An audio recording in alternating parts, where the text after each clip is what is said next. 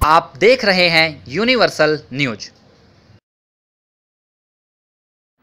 अंतर्राष्ट्रीय योग दिवस के उपलक्ष्य में डॉक्टर उदित राज ने रोहिणी के जापानी पार्क में हज़ारों लोगों के साथ योग दिवस मनाया।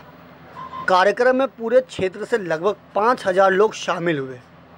कार्यक्रम का आयोजन डॉक्टर उदित राज के नेतृत्व में दिल्ली विकास प्राधिकरण और आर्ट ऑफ़ लिविंग के सहयोग से किया गया।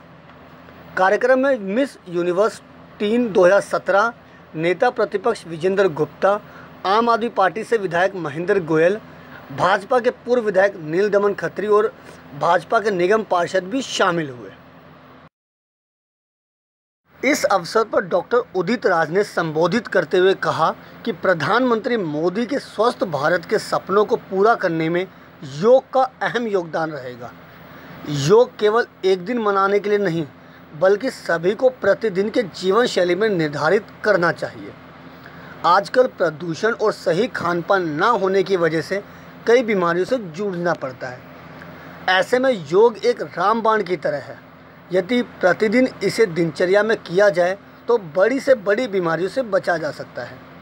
उन्होंने कहा, यह न केवल निजी हित में है, बल्कि राष्ट्र हित के श्रेणी में आता है।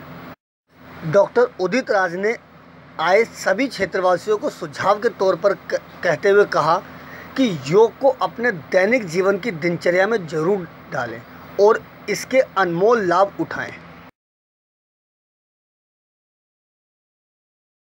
यूनिवर्सल न्यूज़ के लिए दिल्ली से वीडियो जर्नलिस्ट नीतीश कुमार के साथ अजीत कुमार की रिपोर्ट। क्या आपको लोन के लिए इधर उधर भटकना पड़ रहा है?